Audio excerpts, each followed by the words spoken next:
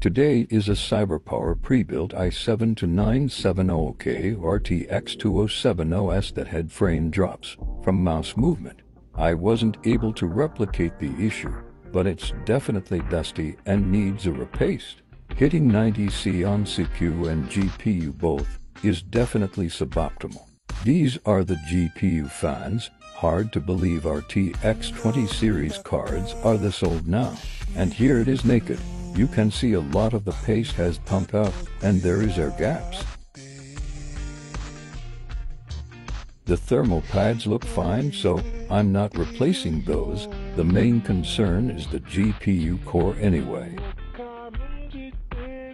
I've also rewired the fans so the client can control the RGB via the motherboard. I've also added a 140mm exhaust fan. Let's see what we hit in Cyberpunk on high detail. Roughly a 13 Celsius drop in temperature, which is probably all we are going to get.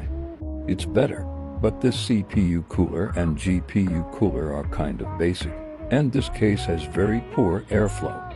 Glass-fronted cases are really bad, as well as small radiator IOs.